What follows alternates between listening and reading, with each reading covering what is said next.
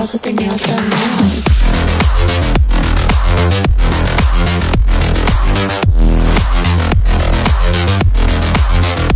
Girls with their nails done. I girls with nails done.